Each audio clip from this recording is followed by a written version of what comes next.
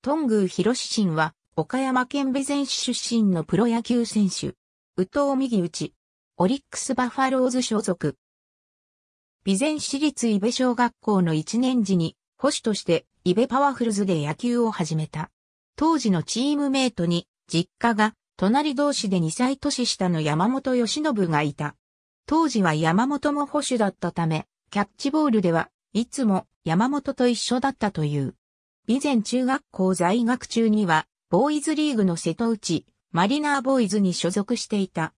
岡山理科大学附属高等学校への進学後は、1年夏からのベンチ入りを経て、1年秋から4番、保守としてレギュラーに抜擢。2年時に春の岡山県大会で優勝したが、在学中は春夏とも甲子園球場の全国大会と縁がなかった。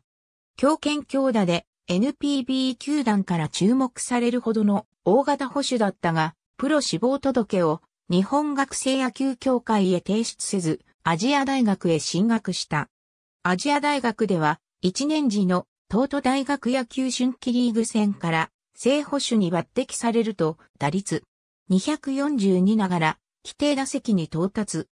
一年時の秋には、リーグ戦と第46回明治、神宮野球大会で優勝を経験したものの、その後は打撃の調子が上がらず、2年時には正捕手の座を失った。3年時の春季リーグ戦で12試合に出場すると、打率386、3本塁打、13打点という好成績で、保守としてベストナインに初めて選出。チームが2部リーグから1部へ復帰した4年時には、首相を務め、第42回日米大学野球選手権大会と、第29回ハーレムベースボールウィークで、大学日本代表の4番打者を務めた。在学中には、東都大学野球の一部リーグ戦で、通算14本塁打を記録した。2018年の NPB ドラフト会議では、保守ではなく、内野手としてオリックスバファローズから2巡目で指名された。強打とチーム事情を背景に、三塁手へのコンバートを想定した指名であったが、契約金8000万円、年俸1200万円という条件で入団。山本と再びチームメイトになった。背番号は44。2019年にはオープン戦全17試合の出場で規定打席に到達。16試合で三塁を守りながら2本塁打を放ったことを背景に、レギュラーシーズンの開幕1軍入りを果たした。3月29日に北海道日本ハムファイターズとの開幕戦で5番三塁手としてスタメンで公式戦にデビュー。オリックスの新人野手が1軍の公式戦で開幕からクリーンナップに起用された事例は、阪急時代の1957年の中田正宏以来62年ぶりである。この試合の第一打席で、公式戦での初安打、初打点を上沢直之からの2点的自打でマーク。4月には18日にホットモットフィールド神戸で催された同カードで公式戦初本塁打を放ったことを皮切りに2本塁打を記録した。しかし打撃不振で5月1日に入団後初めて出場選手登録を抹消されてからは、1軍と2軍を往復。1軍の公式戦で三塁手として不慣れな守備で失策を重ねたばかりか、打撃にも悪い影響を及ぼしていたため、2軍での調整中には保守への復帰を、ゼネラルマネージャーの福良純一へ直訴した。実際には内野手として1軍へ復帰したものの、6月28日の対埼玉西武ライオンズ戦7回表の打席で二塁打を放った後の走塁中に右足の修上骨を疲労骨折。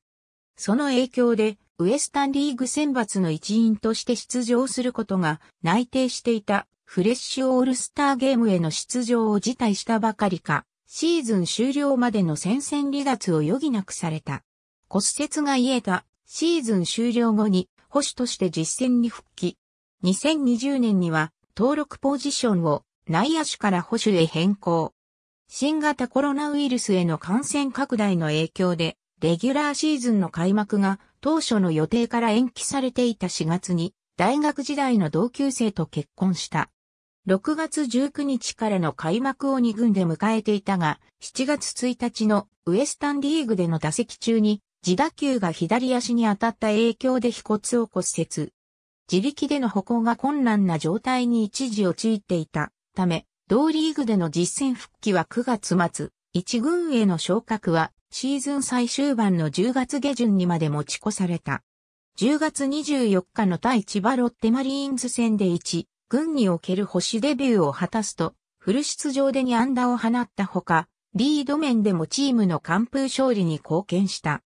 以降も6試合でスタメンマスクを任されていたが、1軍公式戦への出場はわずか12試合で、シーズン終了後の12月3日に推定年俸900万円という条件で契約を公開した。アジア大学の在学中に、東都大学野球の一部リーグ戦で通算14本塁打を記録した長打力が持ち味。